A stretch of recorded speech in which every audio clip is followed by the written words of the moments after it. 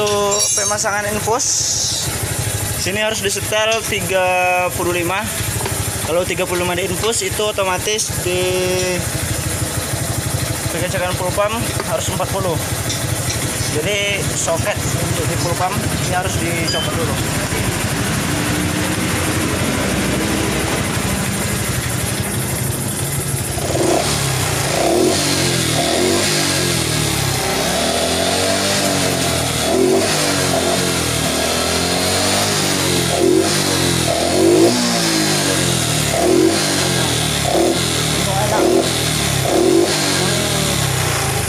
yang tadinya nyendat berebet itu menunjukkan untuk kerancaran di injektor